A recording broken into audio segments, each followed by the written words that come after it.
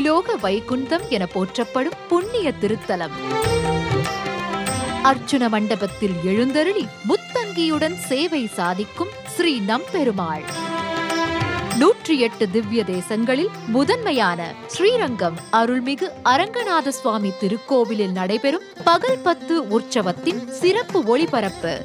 நாளை காலை பதினோரு மணிக்கும் இரவு பத்து மணிக்கும் பிரத்யேகமாக நமது புதியுகத்தில்